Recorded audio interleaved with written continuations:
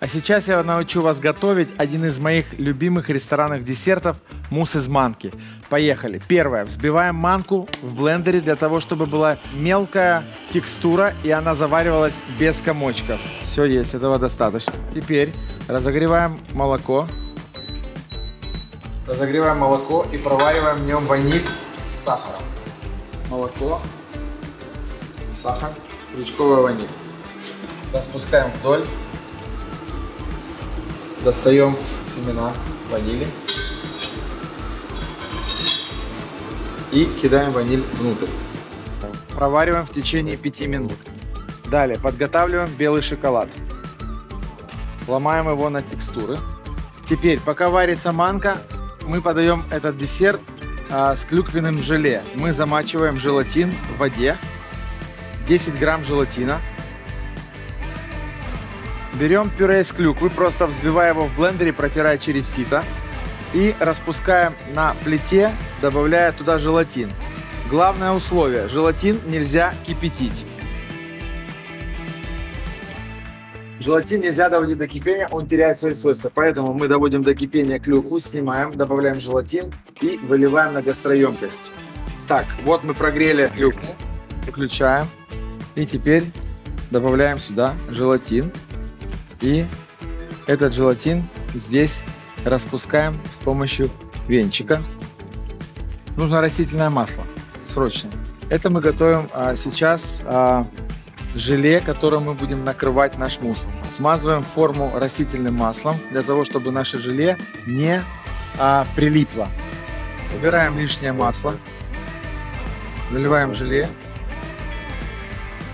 и убираем в холодильник. Поехали, убираем в холодильник. Все отлично. Мы видим, что а, наше а, молоко с ванилью проварилось. Теперь добавляем туда и завариваем манку. Очень важно, чтобы у нас не образовались комочки. Хоть мы все равно будем протирать через сито, но важно, чтобы комочки не образовались. Для этого мы снимаем с температуры и начинаем всыпать и одновременно очень интенсивно перемешивать для этого мы и перемололи манку, для того, чтобы не образовались комочки. Постоянно перемешиваем, перемешиваем, завариваем манку. То есть нам нужна текстура, как у жидкого кефира. Вот, видите, текстура какая? Да, После того, как оно остынет, оно станет еще более густым, поэтому а, на этом мы больше манку перестаем вводить. Добавляем белый шоколад.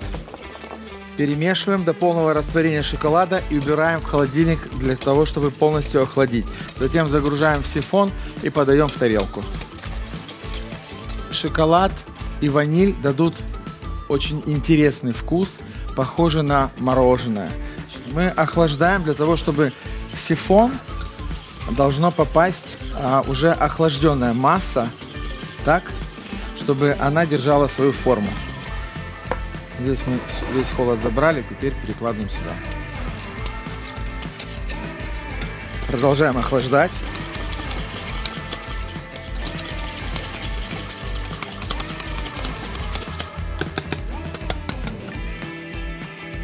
Все, убираем в холодильник. На, убираем в морозилку на минут 10. Через 10 минут вернешься. Пока манка остывает, мы делаем шарики из белого шоколада. Мы делаем шарики из белого шоколада для того, чтобы дать текстуру десерту, потому что желе у нас будет такую вот плотность давать, мусс будет нежный, а шарики будут давать некий хруст и поддерживать вкус белого шоколада, который находится в манке. Для этого нам нужно взять белый шоколад, растопить, добавляем немного молоко, белый шоколад растопили, и теперь нужно его в специальную форму кондитерскую втирать в вовнутрь. Видишь? Давай, попробуй. Попробуй, повтирай.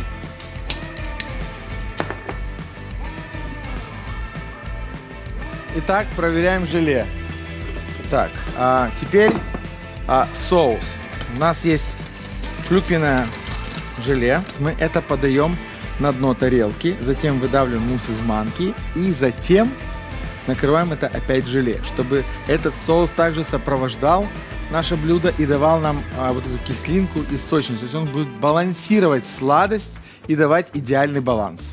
Итак, желе застыло, тебе нужно достать с холодильника и вот этой формой вырезать а, его и принести сюда. Поехали. Хорошо. Давай.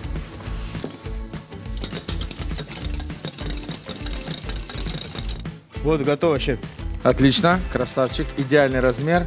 Видите, смотрите, как э, хорошо застыло желе. Оно не резиновое, оно очень эластично. Итак, смотрите, значит, э, как правильно распределить соус по тарелке, не используя никаких э, других элементов. Смотри, мы берем, наливаем соус в центр, так. Теперь берем тарелку и отстукиваем снизу. И мы получаем идеальную форму здесь.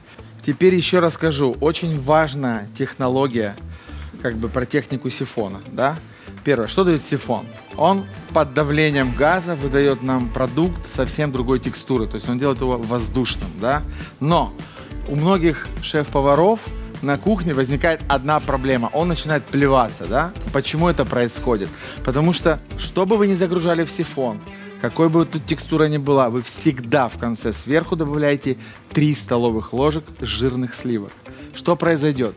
Газ под давлением, попадая в сифон, образует эмульгацию. То есть там все начинает бурлить и соединяются, молекулы жира соединяются с продуктом, и тогда они гладко и плавно выходят из сифона.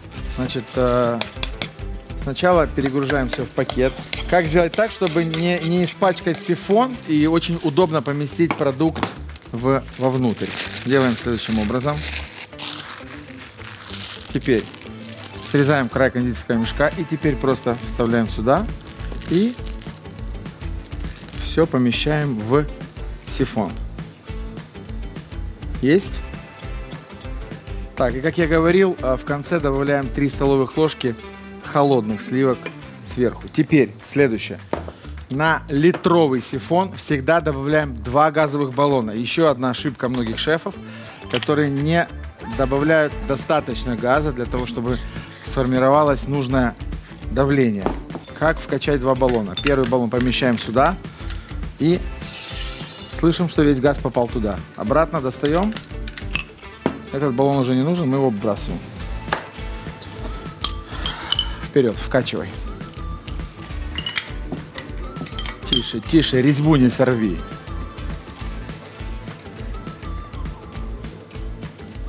А, видишь как? О, есть, все. Сейчас не выкручиваем уже, все нормально. Отлично. Теперь делаем однородную текстуру внутри.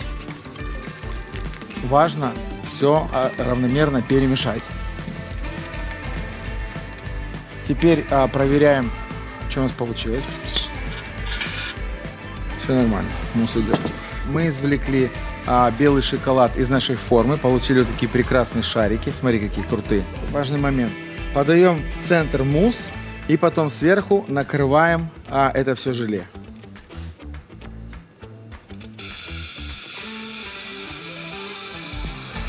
Получили. Видите, какая пышная и нежная шапка. Теперь накрываем все это нашим а, клюквенным желе аккуратно. Дальше берем быстро, даем глянец. Видите, как красиво блестит. И теперь сверху добавляем а, шарики из белого шоколада, которые дают нам текстуру нашего прекрасного десерта. Итак, друзья, воздушный мусс из манки с белым шоколадом, клюквенным желе и соусом из клюквы готов. Так выглядит настоящий ресторанный десерт. Юля и Малхас узнали мой рецепт ресторанного блюда. А если вы ценитель сладкого, заходите на сайт Food.ru. Там вы узнаете все о десертах, лайфхаки от поваров, рецепты и интересные факты. Ссылка в описании к видео. На этом у меня все. Всем пока!